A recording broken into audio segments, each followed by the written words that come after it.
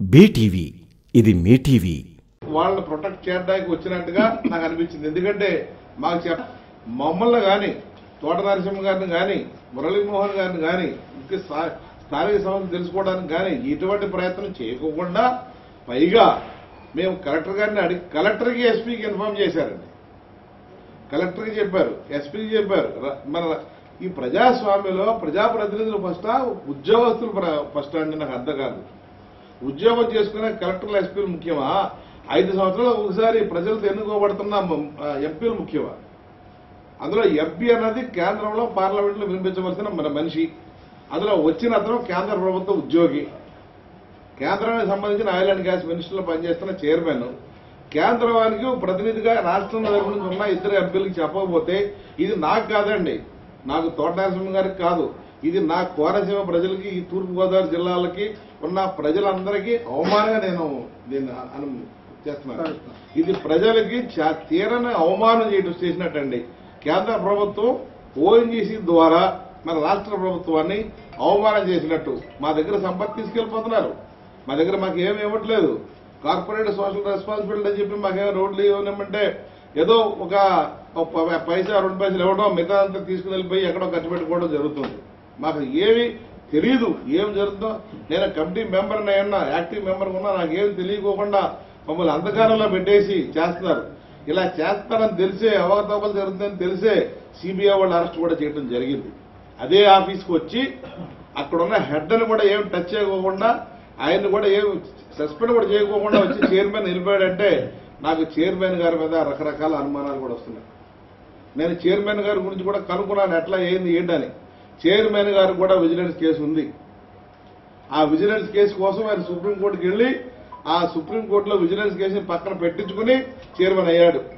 అటువంటి చైర్మన్ ఈ ఓఎన్జీసీకి నలభై వేల కోట్లు పెట్టుబడి పడుతున్న ఓఎన్జీసీ కార్యకలాపాలకి సరిపడడా? సరిపడగ సరిపడగల సత్తా ఉన్నవాడా? సాంకేతిక జ్ఞానం ఉన్నవాడా? అటువంటి ఇంటిగ్రిటీ ఉన్నవాడా? ఆ క్యారెక్టర్ ఉన్నవాడా?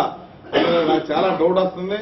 మన దేశంలో ప్రధానమంత్రి గారు మొట్టమొదటగా ఇచ్చిన స్లోగన్ ఏంటంటే ఆయిల్ అండ్ గ్యాస్ సంబంధించిన దిగుమతుల్ని పది పర్సెంట్ వరకు ప్రతి సంవత్సరం మనం తగ్గించాలి అన్నది ఆయన ఇచ్చిన స్లోగన్ ఫస్ట్ అంటే మన కంట్రీలో ఇరవై మూడు ఇరవై మూడు లక్షల కోట్లకి ఇంపోర్ట్ మనం డబ్బులు వ్యయ చేస్తుంటే ఆల్మోస్ట్ పదహారు పదహారు పదిహేను పదహారు లక్షల కోట్లు కేవలం ఆయిల్ చమురు దానికి గ్యాస్ సంబంధించిన దిగుమతులకి ఖర్చు పెట్టడం జరుగుతుంది.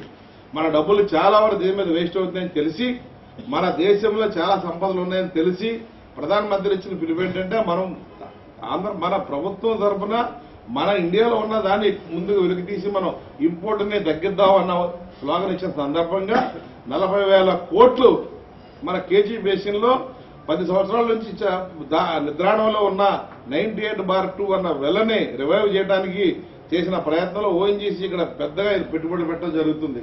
అటువంటి పెద్ద- పెద్ద పెట్టుబడులు ప్రధానమంత్రి గారికి ఉన్న ఆశలు తీరాలంటే ఇక్కడ మంచి ఆఫీసర్లు కావాలి వాళ్ళ యొక్క ఇంటిగ్రిటీ క్యారెక్టర్ ఉన్న ఆఫీసర్లు కావాలి. కానీ సిబిఐ వాళ్ళు వచ్చి అరెస్ట్ చేసి పట్టుకెళ్ళే ఆఫీసులో అటువంటి సిబిఐ అరెస్ట్ చేసిన ఆఫీసర్ని ప్రొటెక్ట్ చేయడానికి ఉన్న ఒక ప- ఒక అలోకనందన్ అన్న అతన్ని సస్పెండ్ కూడా చేయకుండా ఉన్న ఆఫీసులో అదే ఆఫీస్కి వచ్చి చైర్మన్ గారు మాకేం చెప్పకుండా రహస్యంగా వచ్చి రహస్యంగా వెళ్ళిపోవటంలో మాకు చాలా అనుమానాలు చాలా రేగెత్తిస్తున్నాయి మాకు అనుమానాలు ఉన్నాయి ప్రజలకైతే అవమానం జరిగింది. చాలా సమస్యలు ఉన్నాయండి. వాడల రేవులో రకరకాల సమస్యలు ఉన్నాయి. కట్టిన బిల్డింగ్లు పడిపోతున్నాయి. రోడ్లన్నీ కూలిపోతున్నాయి. ఆయా రోడ్లు ఆ ఇసుకలు అన్ని కూడా వేసింది సముద్రంలో తీసిన ఇసుకతో చేశారు కట్టేశారు. నేను ఎప్పుడో పోయిన సంవత్సరం వెళ్ళి సర్ప్రైజ్ విజిట్ చేసి ఆ ఇసుక గురించి మైనింగ్ డిపార్ట్మెంట్లో విజిలెన్స్ డిపార్ట్మెంట్ రిపోర్ట్ తీసుకుని ఓఎన్జీసీ కూడా ఇవ్వడం జరిగింది. ఇక్కడ కాకినాడ ఎస్టేట్లో అలోక్ నందన్ గారు ఉన్నారు ఆయన కూడా ఇవ్వడం జరిగింది. కానీ అందరూ ఒకరితో కలిసిపోయి కుమ్మక్కైపోయి దాని మీద ఎటువంటి చర్య ఇంతవరకు తీసుకోవడం జరగలేదు. నేను చివరికి పెంట్లో ఈ ప్రివిలేజ్ కమిటీ కూడా మేము మోసం చేయడం జరుగుతుంది. జీరో అవర్లో కూడా దీన్ని ఎత్తుతాను. ఇక నాకు ప్రజాస్వామ్య పరంగా ఏదైతే నాకు ద్వారాలు ఉన్నాయో వాటిలన్నింటిని కూడా కొడతాను అన్నింటి దగ్గరికి వెళ్తాను.